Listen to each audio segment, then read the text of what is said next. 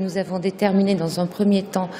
que nous n'avons pas besoin en Bretagne de moyens de production supplémentaires pour la pointe de consommation et nous avons établi euh, un chemin, une feuille de route qui va tourner essentiellement, bien évidemment, autour du développement des énergies renouvelables, euh, sur une modération de la consommation. Ça peut être des tarifs